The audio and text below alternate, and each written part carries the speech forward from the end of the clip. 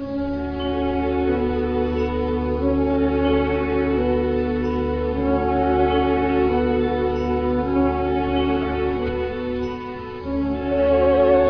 aprendi com uma senhora que se chamava Ausenda, que eu tive hospedado em casa dela antes de me casar.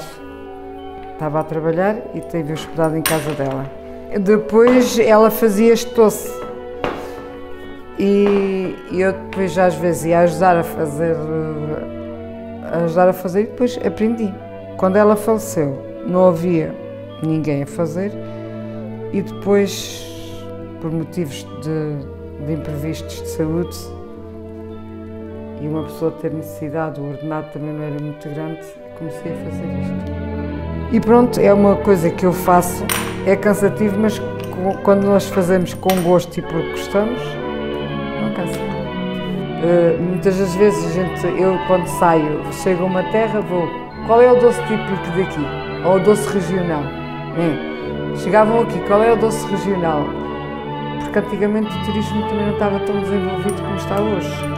E eu acho que temos o dever de dar a conhecer as coisas boas da terra. Estou a esticar a massa, que tem farinha, ovos e, e manteiga. Para ficar mais crocante, a massa tem que ficar bem esticadinha. Depois enrola-se, a gente faz o género de um triângulo, depois enrola no cone, que é a forma, que é para depois ir eh, ao forno. Depois saem do, do forno, depois tem-se o recheio feito. O recheio consiste em açúcar, faz-se uma calda de açúcar, põe-se a ferver. Quando está em ponto de pérola, tem-se as gemas, misturam-se com as gemas.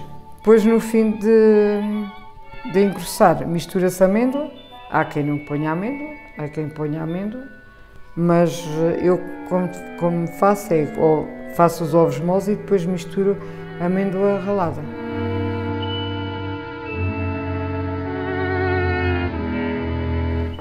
Costumam acompanhar com, ananá, com abacaxi, ananás, com um bom cafezinho, no fim da sobremesa acompanhado com um bom café, chá, isso depois as pessoas é que, é que sabem.